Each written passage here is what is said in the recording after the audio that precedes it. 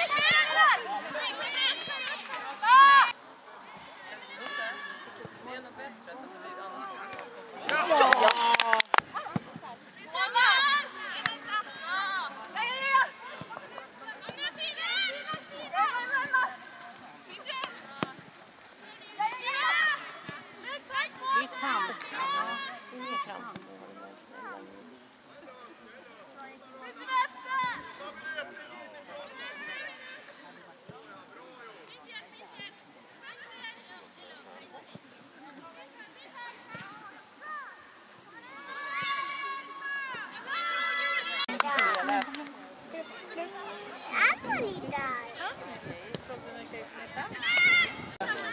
Nu, nu har vi. Fille med dig!